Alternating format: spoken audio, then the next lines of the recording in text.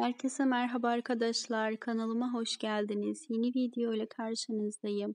Star TV ekranlarında yayınlanan ve yayınlandığı ilk günden itibaren bugüne kadar reyting rekorları kıran Kıran Yalı Çapkını dizisinin yeni bölüm setinden yepyeni muhteşem görüntüler geldi.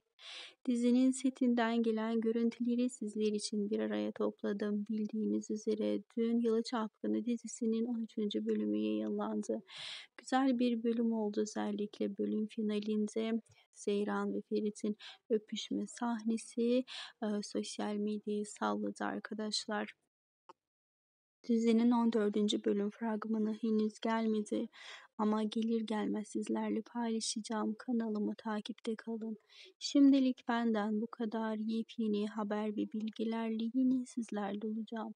Emeğe saygı olarak videomu beğenmeyi, kanalıma abone olmayı unutmayın.